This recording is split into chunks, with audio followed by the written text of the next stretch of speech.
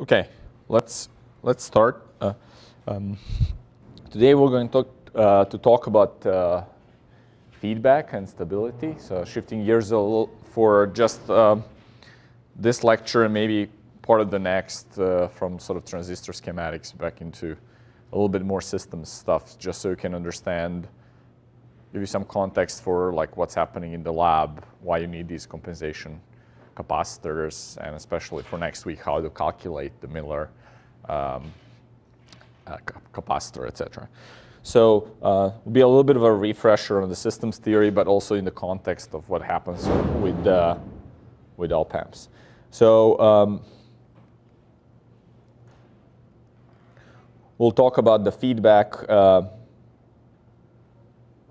amplifier frequency response first. Um, let's say we have an input VI um, and a classical uh, sort of configuration where we put some um, amplifier in the loop. And then we'll take part of the signal of the output signal and feed it back um, call this V feedback, and this will be our error voltage. Now this F, is we'll, we're going to go sort of uh, down the road into a lot of different discussions about what types of feedback we can have, uh, shunt series, etc. So right now that doesn't really matter. All that matters is that this F is some fixed ratio between 0 um, and 1. Okay. And so uh, it's frequency independent. Uh, okay. And so if, if, we take a look at this uh, circuit and we're trying to derive what is the overall A of S as VO over VI, we're simply going to get uh, A of S over 1 plus uh, a of S times F. Right? Because we have V error is VO times F minus and then times A of S, so, and then adds to VO, so we'll get you this. Now, we're going to call this factor um, we're going to call it loop gain. Indeed, if you go around the loop, you have A of S times F. And that will be uh, sort of the total gain of going around the loop. Um, now, depending on what A of S is, the resulting um, transfer function of this capital e of A of S, which is the amplifier with feedback closed, will be different than just what the the amplifier's A of S is. And depending on F, that will also change. So what we're going to do today is look at how these things change from sort of the amplifier we start from, which is uh, small a of s, to actually when we close the loop, what happens with the frequency characteristics of the amplifier, uh, which is the closed loop amplifier a of s. So let's do a few examples. So um,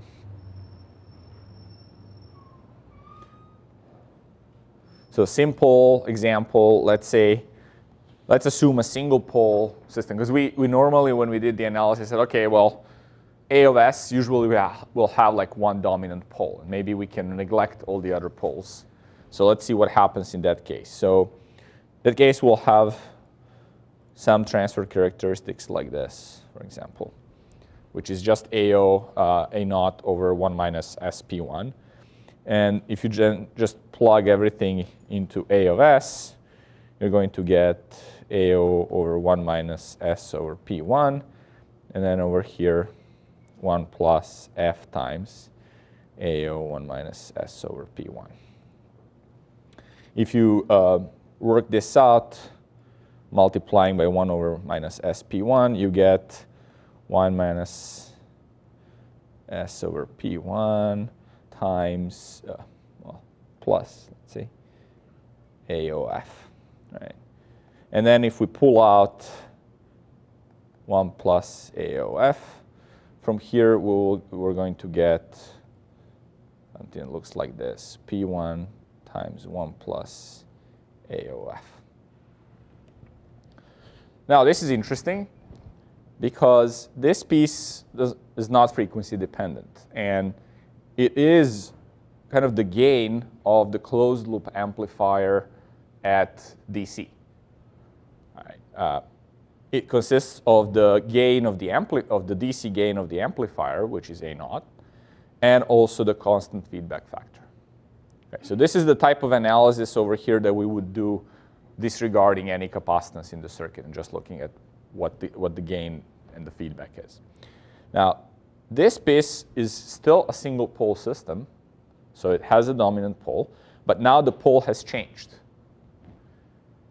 So um, with A naught being A0 over 1 plus uh, A0F, um, the pole, we will call it closed loop pole P1, is now P1 times 1 plus A0F. So the pole has increased in magnitude by exactly the same factor as the gain, the DC gain has decreased. Okay? So we're going to label this quantity T0 just like here we had T of S being F times A of S, right? So that's the loop gain. So the, the magnitude of the closed loop gain decreased by 1 plus T0. And also the pole increased by that same amount. So, so this loop gain definitely is a factor in, in moving the poles around. If we go and draw the, uh, let's say, j omega, this is essentially the, the, the gain, the Bode plot. I will do like uh, omega on a log scale here. So on the first one, what you're going to have is um, up until P1, you have the gain of 20 log 10 of uh, A0. So this is our normal um, amplifier. And then we'll have minus 20 dB per decade after the pole, since we have a single pole. Now, depending on what um, feedback we apply, what f is, we're going to set, set what a0f is. So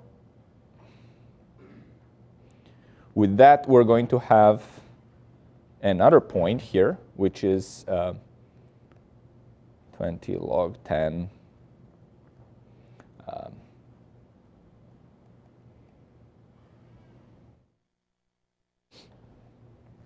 okay. So what we have done here is, and, then this point obviously is going to be P1 times 1 plus T0. So this difference, given that the top is A0 and this one is just A0 divided by 1 plus T0. So in log scale, that's the difference of the two in dB. So this range over here will be 20 log 10, 1 plus T0. Essentially what we're doing, we're shifting the characteristics down by 1 plus t0 in dB. And then we're also moving the pole out. So we're sliding along this 20 dB per decade curve, right? If we decrease by 10x the gain, we're shifting the, the frequency by 10x. And that's exactly kind of the 20 dB per decade plot, right? Because 10x is 20 log 10 of 10 is 20, right? So that's how you, you will. So everything that happens in this curve is essentially a constant um, product of the gain and the pole. Okay, so that's why this frequency is also interesting. That's our unity gain bandwidth frequency, which says, okay, um, the max uh, th- that as long as you're riding on this curve, gain times the bandwidth, which wherever you choose to have your bandwidth will essentially be constant. Now, I am choosing this point over here simply by adjusting the f, this component over here, which is a0f. So I'm adjusting really the f.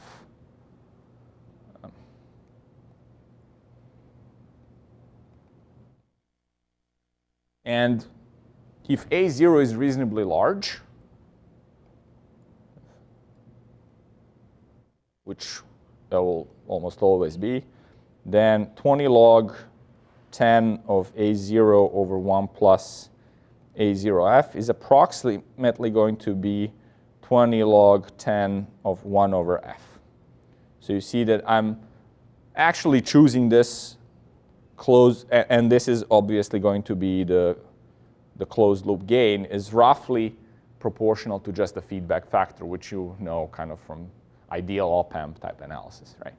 Um, so by choosing the, this feedback factor, by how I tie, let's say, the resistive dividers or capacitors or whatever, I have passive components around my uh, op-amp, I will be choosing this um, closed loop operating point and choosing how much I shift my pole. Right? So the other way to kind of represent that is um,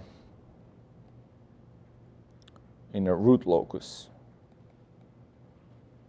uh, plot. Um, how many people heard about root locus things?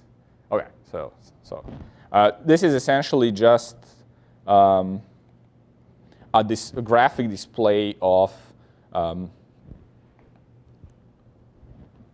the poles of um, A of S in, in, the, in the complex plane. So, um, and um, what we have here is that, for example, um, since we have real poles um, in amplifiers typically, at least this one pole is definitely going to be real. If we have two poles, then we'll have complex conjugates. Um, but in this case, we're starting from P1, and it's going to be a negative pole, right, because the system is stable. And then by amplifying, by choosing the feedback factor f that corresponds to T0, we'll be moving that pole to some location that is P1, 1 plus T0 uh, prime, let's say. Uh, this point over here corresponds to T0 equals 0. Right, so there's no feedback. My pole is P1. If I have feedback, I'm pushing that pole essentially to infinity. Uh, if my um, if my T0 increases, right? So here, T0 equals T0 prime. That's some, some value we chose. Okay. So life seems to be pretty good and simple when we have a single pole amplifier, right? We can ride on this 20 dB per decade curve and know how much more uh, bandwidth we get once we close the feedback. Um, Let's see what happens if we have um, a little bit more complicated situation. So say what if um,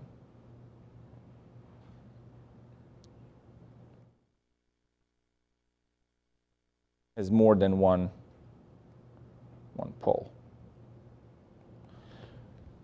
Anybody see wh where that situation can occur?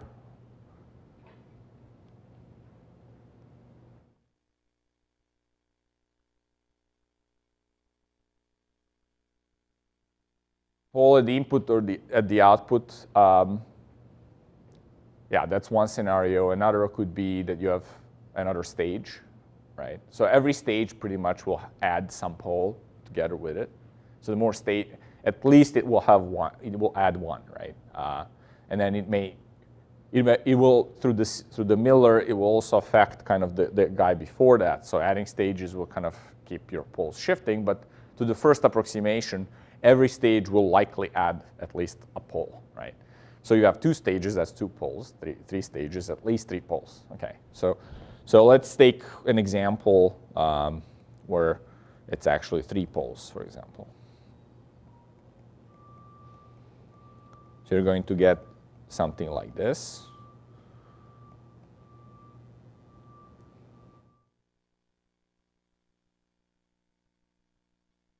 Now, just for the ease of analysis, what I'll assume is that um, these poles are actually kind of a decade apart, because then it's easy for me to draw, draw things. Um,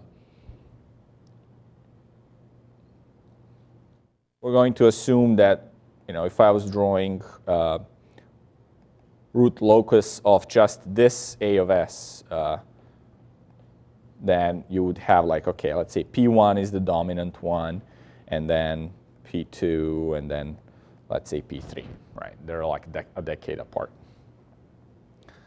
Um,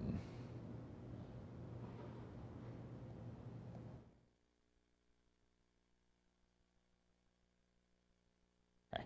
So let's draw some transfer functions, see, see how this A of J omega looks like. Um,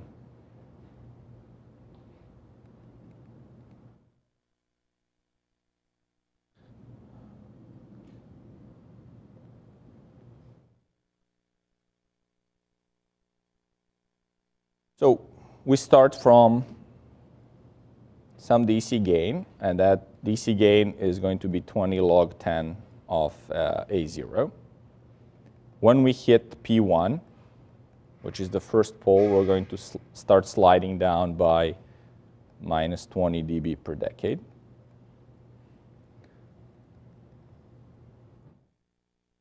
Then we're going to hit pole 2.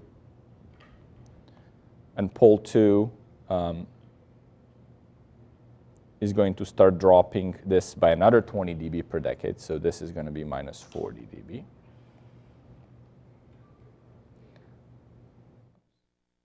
And then we hit pole 3, and it starts dropping this at minus 60.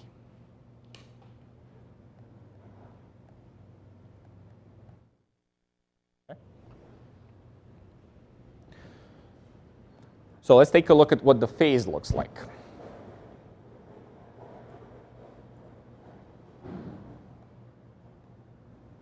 So it's the same log scale omega axis, just here I'm plotting the angle of, or the phase of uh, A of j omega.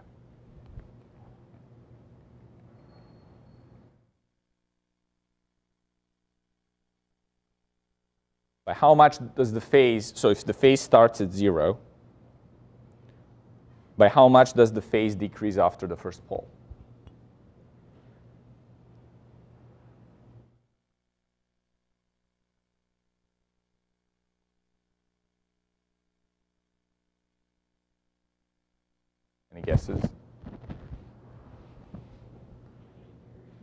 90 degrees. So in Bode approximation, we're going to kind of draw it so that at, at the pole, it's kind of hitting minus pi over 4. But then after the pole, it sort of will settle at 90. Right? So, um, okay, so we have this pi over 2 minus, the, minus pi minus 3 pi over 2. So we'll be hitting this pole and then finally settling somewhere here. So the phase is going to look something like this and then starting to go down like somewhere here. Okay. The important thing is what is happening at the point where phase of A of j omega becomes minus pi. So we're going to call this frequency omega 180. And this gain here will be 20 log 10. Uh, we're going to call this A180. Does anybody know why this gain is important? Or this particular uh, frequency, omega 180?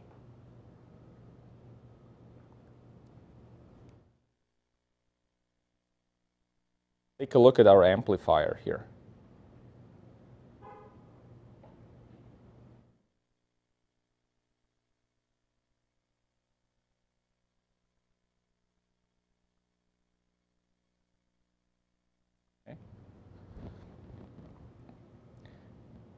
We're assuming at DC A is positive, right? That's why we added this negative sign over here. The idea was that if VI increases, this V error will increase, then um, VO would increase. Because F is just a ratio, then VF would increase, and suppress VE.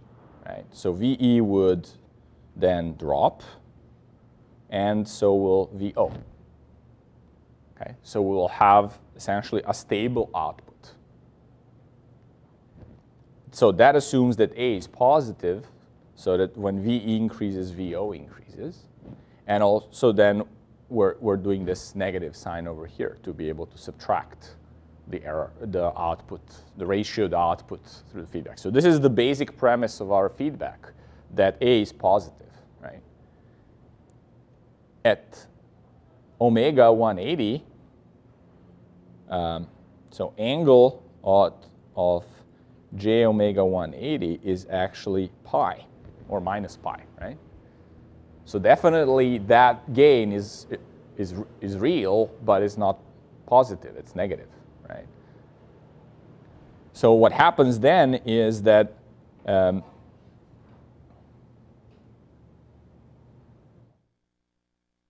we have a situation where um, you know, VI increases, VE increases, VO decreases because the gain is negative. If VO decreases, VF decreases.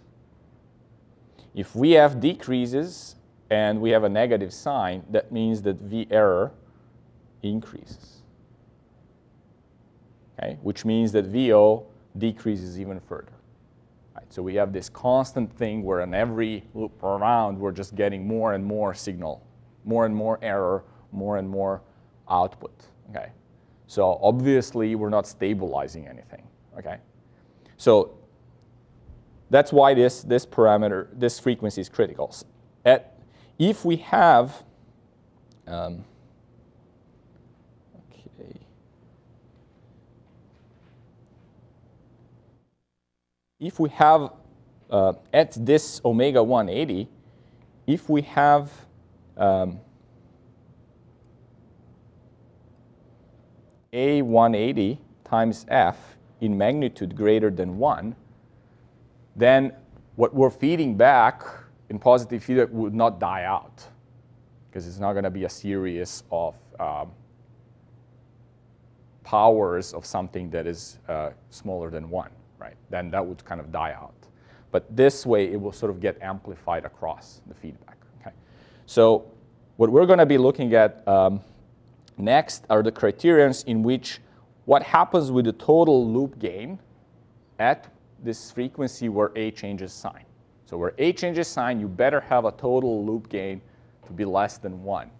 Otherwise, you're going to start actually getting positive feedback. Right? So this is positive feedback, um, and this is a negative feedback. Okay. Another way um, to analyze this whole situation was with Nyquist or Nyquist criterion. So I'll mention it just here, you know, as a due diligence, but usually it will be easier for you to look at just the Bode plots because we're not going to have super complex situations. But um,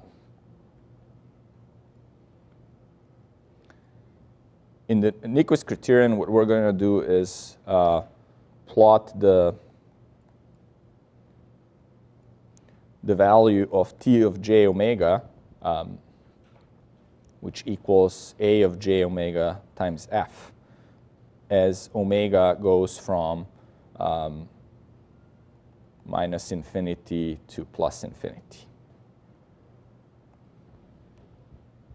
Okay. So if we select just the value of omega equals 0, because things should be kind of symmetric both sides, so we're going to just select the value of uh, uh, 0. So for omega equals 0, we're going to start with T0. That's our familiar DC loop gain. Right? It's A0 times F.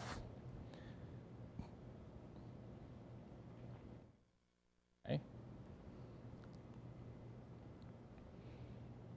And then, since T is really just A of j omega times f, and we know that um, from the previous slide, we know that the phase of a, a of j omega decreases, right, with frequency, because it's going to hit the first pole and start going down. Same way, same thing is going to happen to that a of j omega times a constant, right? So it has the, exactly the same phase. So you're going to start going down in phase. So again, let's say this vector will be absolute value of t of j omega, and this angle here will be angle of t of j omega. Maybe I should do a, a bigger drawing. Okay, let me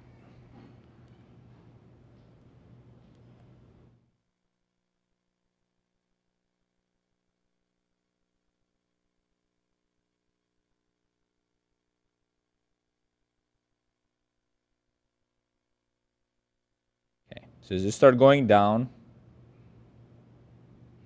this is omega, this is omega equals zero. This is omega goes to infinity, or omega greater than zero. Okay? Then this magnitude here will be t of j omega. And then this angle here will be angle of t of j omega, which, according to what we've seen in the Bode plots, this is really the phase of a of j omega. Okay. So then we're moving across. And now what, what is going to happen is that at the time we, the angle becomes pi, Okay? That's the same thing as in the previous plot, this omega 180. Okay? That's where our phase became pi. So we have to see what A180 times F is. If that is greater than 1, that means that we're going to cross this axis at, this will be A180 um, times F and omega will be equal to omega 180 at this point. Okay? So if this point is greater than minus 1 on the axis, then means we have a, A180F in magnitude is bigger than 1. Okay? So that means we'll be going something like this. And then as we're continuing,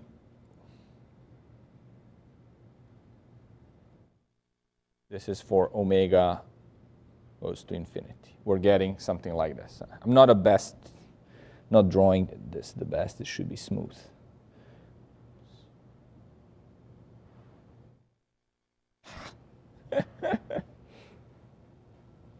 anyway, you, you, you get the point.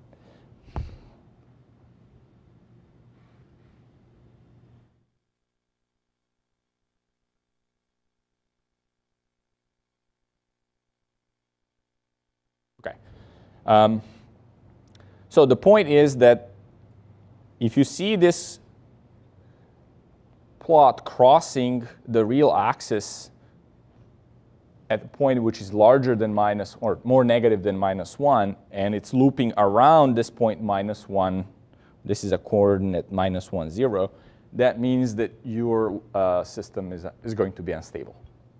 Okay, uh, Your closed loop system is unstable. And the, the amount of encir encirclements around this means how many right plane poles you're going to have um, in the closed loop. Okay. So the way we simplify this this criterion, so the, the so the Nyquist criterion will be that um, this Nyquist plot or Nyquist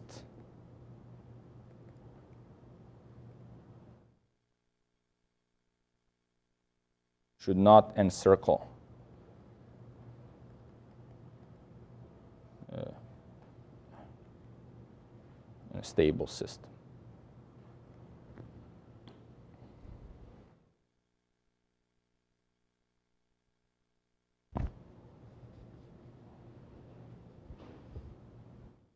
Okay.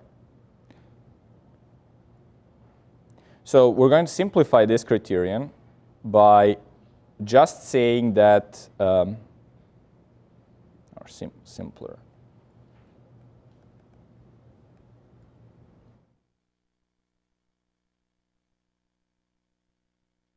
That um,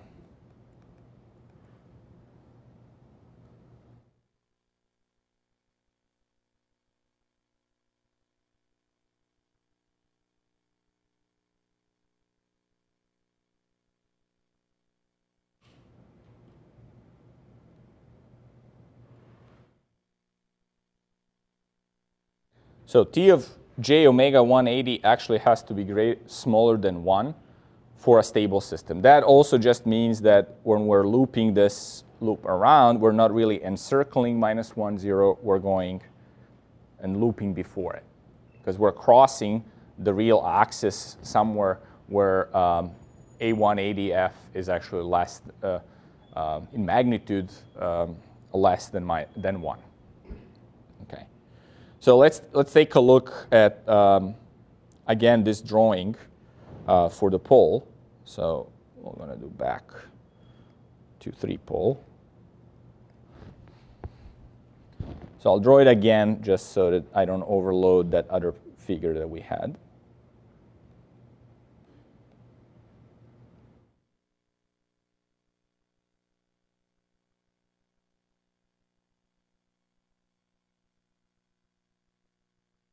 I have P1, then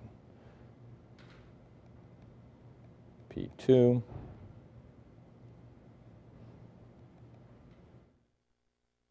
P3, and then the cross, and then here we have again the same values.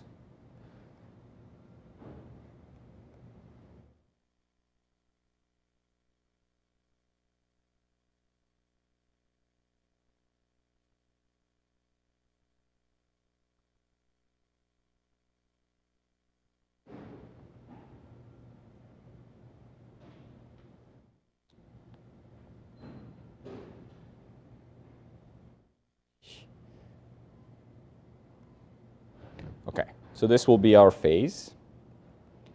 And of course, one point of interest is this crossing, this, as we said, this one eight, omega 180.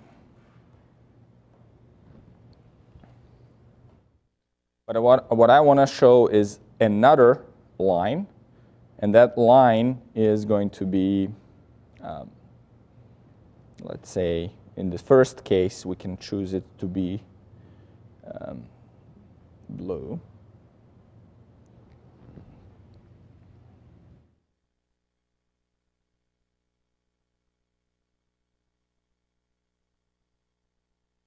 Okay, so let's choose it to be here. This line will be 20 log 10 of 1 over f. Let's call it this 1 over f1.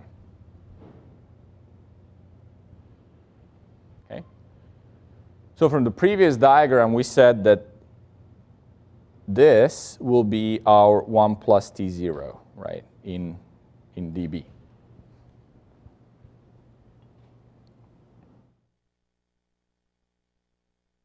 Um, or as we are, so let me just, uh, so indeed here it is 1 plus T0, but let me just make it 1 plus T of j omega in dB, right? Or magnitude of T of j omega. So what's happening here is that um, as we are increasing the frequency, the loop gain T of j omega, which is the difference between this D DC value and, the and this A of j omega curve, uh, decreases. So at this point over here, we're getting that the loop gain is exactly equal to 1.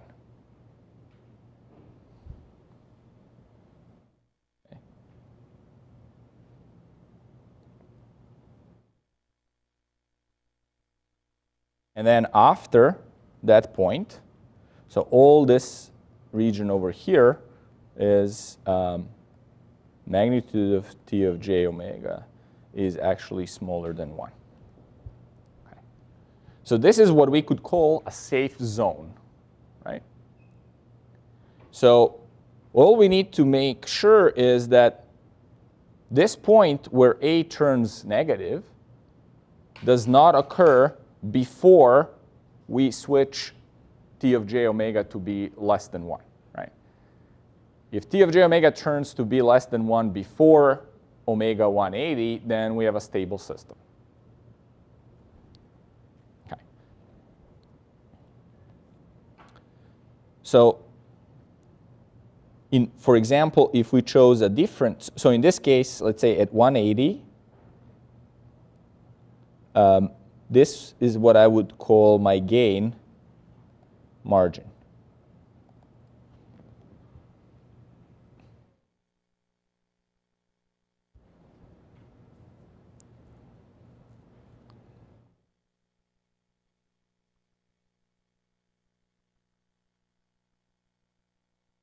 At this point over here where I've really crossed, so where I have a unit gain, um, I want to see what is my phase.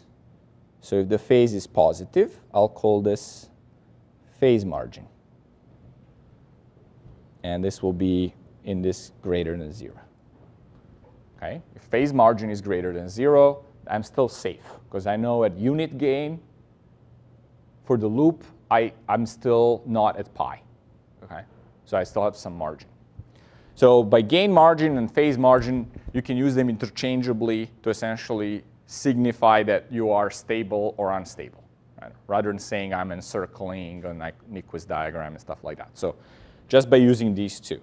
Now, let's take a look at the example of what happens if we choose, um, let's say, choose another f equal to f2. And let's say that, that f2 is actually larger than f1. So we have it so that we have 1 over f2 to be lower, right? So let's say it's here.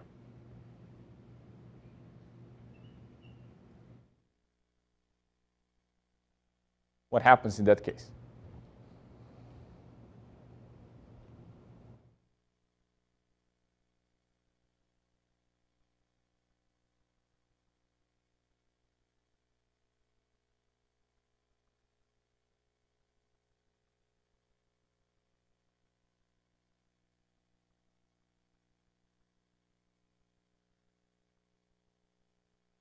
what's happening with my loop gain at omega 180?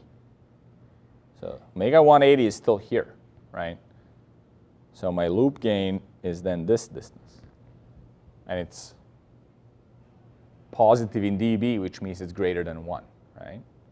So if my loop gain is greater than 1, I'm unstable. Said differently, if I looked at um, at which point I'm reaching uh, a gain of 1. I see that this is for the phase that is um,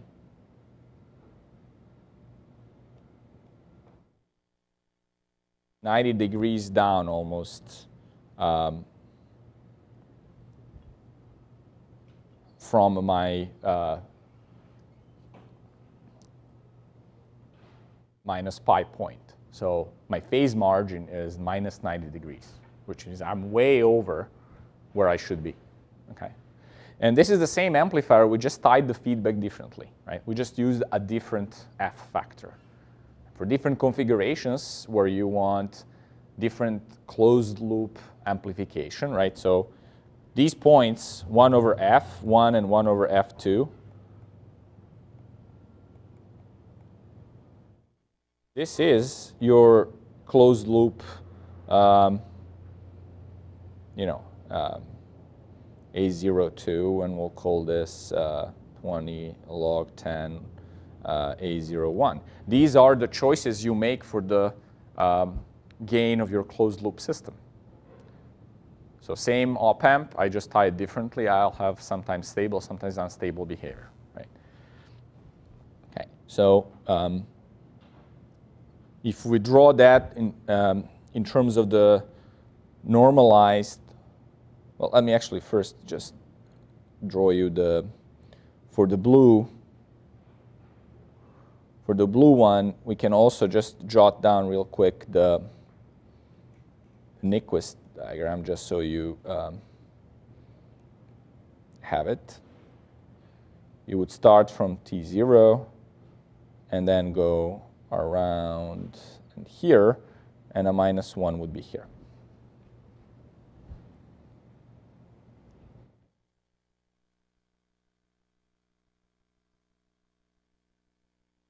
Okay. So in terms of the, the frequency response of the overall amplifier,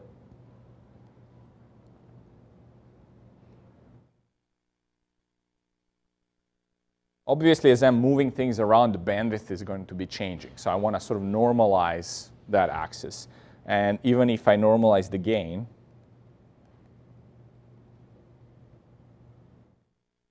as I'm choosing different things for f, I'm going to be having different phase margins, as we saw. And so um, let's say this is this unit uh, bandwidth frequency. Um, so for, let's say, 90 degree phase, I'll have kind of a nice uh, single pole kind of behavior. And this is minus 20 dB per decade, right? Uh, this is 90 degree phase margin. Right? If I have multiple poles, then i am going to start playing with margin, right? So um, if I have, uh, if I get uh, 1 over f to be um, high enough, uh, then, or f to be low enough, I will have sort of a reasonable phase margin. So let's say 60% will look something like this. Just a little bit of an overshoot and then coming down here this is minus 40 decade and 60%, 60 uh, degrees phase margin. Um, if you go with 45, you're going to get something that's an overshoot and then comes down asymptotically the same value. So this will be 45. And then as you're going down to 30, you're getting even more of an overshoot. Um, and then as you're getting really close to pi, you're getting this really uh, behavior where it starts essentially uh, ridiculously amplifying at that point and becoming unstable. Okay, so very, very frequency selective. So we call this uh, frequency peaking. And you don't want to tune your system so that it completely explodes here, overshoots. Okay.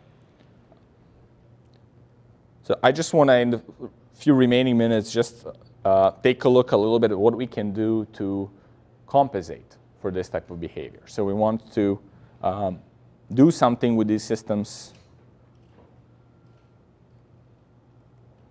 where we can ensure that as we're selecting different Fs, we have a method to uh, not get into trouble, not get into this uh, resonant uh, or unstable behavior. So if we draw the curves once more, um,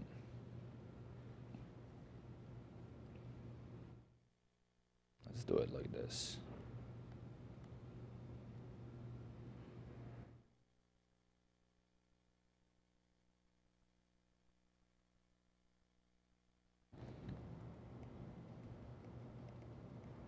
This is magnitude. We had these characteristics where, okay, at pole one, we start descending mildly, then a little bit more, and then finally a lot. Um,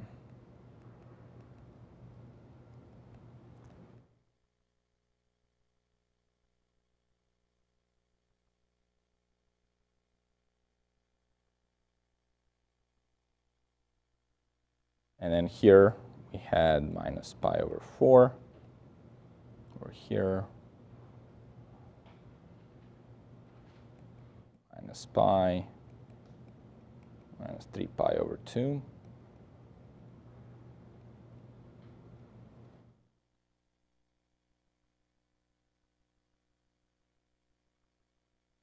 Okay, this is our phase and, and, and amplitude characteristics. Now, if I select any, any f, and it could be as low as the one that we talked about earlier. 20 log 10 of 1 over f. And this is 20 log 10 of a0. Because I have these three poles and I've selected uh, 1 over f that's so low that I'm actually crossing, um, this is omega 180. Right, I'm crossing it at the point where I have pretty big um, closed loop gain, then I have a problem, right? I have an unstable system. So I want to do something to it to change this characteristic of A of j omega so that um, at uh, pi, I'm actually, um, or, or, at this omega 180, I, I don't have uh, the gain greater than 1. Right? So one way to do it, and this is kind of the easiest way to do it, is to do narrow banding.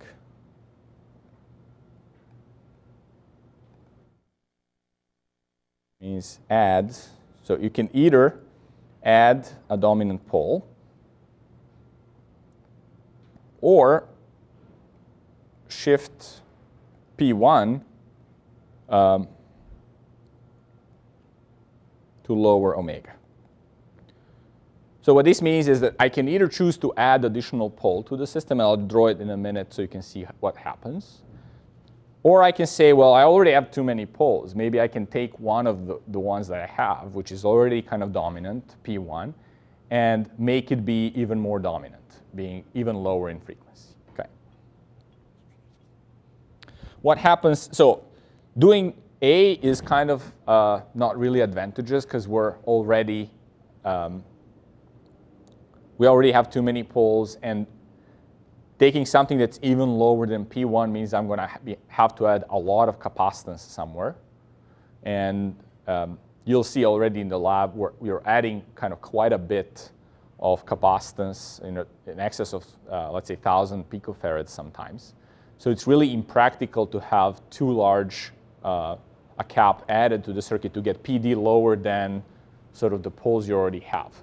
So um, I just show you the example of how we were going to, if we move P1, what happens. Um,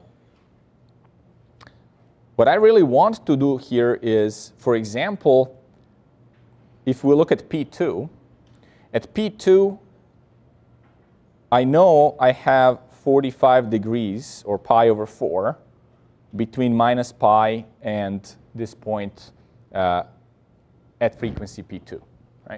That's just inherent in, in me having a second pole there, okay? So if I pick that point and say, look, I'm going to shoot for the loop gain to be 1 exactly at P2. Okay, so shoot for T of uh, jp2 to be equal to 1.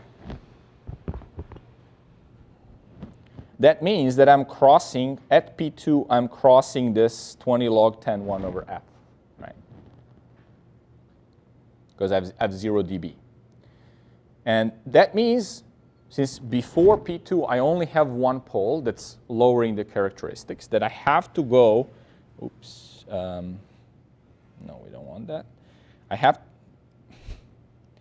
I have to go here with some slope that is 20 dB per decade. The same slope as here, minus 20 dB.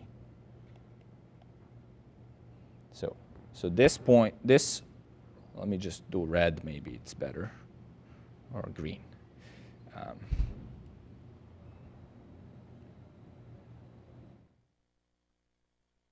okay. So this has to be 20 dB per decade. Simply because before that I only have one pole? And then I'm going to go all the way up, maybe up to here, right? Okay, I'm not the best draw as you can see. So it's even more like something like this. It has to be parallel to this, essentially, right? This point of intersect here will be my new P1 prime. So I'm taking this pole P1 and I'm shifting it all the way here. If I can do that, then my new characteristics starts from here, drops as minus 20, and when it hits P2, I have unity gain uh, for the loop, and I know I have 45 degrees of phase margin. Okay. So um, the new phase will actually look a little bit different, right? Because at P1, I have to already drop by uh, minus pi over 4, and then asymptotically stay at minus pi over 2 up until I start hitting the, the next, uh, next pole, right? So this will be my new phase characteristics, but then it's going to join this one and go down, right? Okay? So this way, my new bandwidth, so to speak, is really um, uh, P1 prime for the amplifier, for the closed loop, it's P2, right? Because that's how much I've lowered my, um, my gain. This is much better than if I had to go, so uh, we can write the expression. So for P1 prime will be equal to P2 over A0 times F. Right?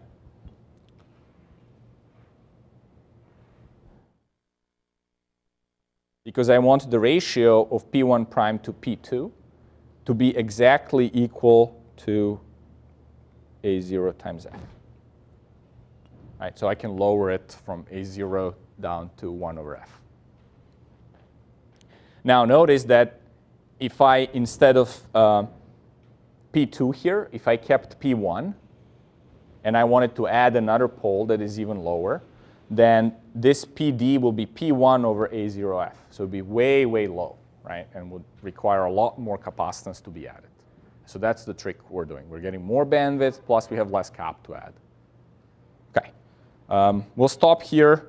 So this method is called narrow banding, and you'll see it in lab. Too. That's like why this big cap C is being added.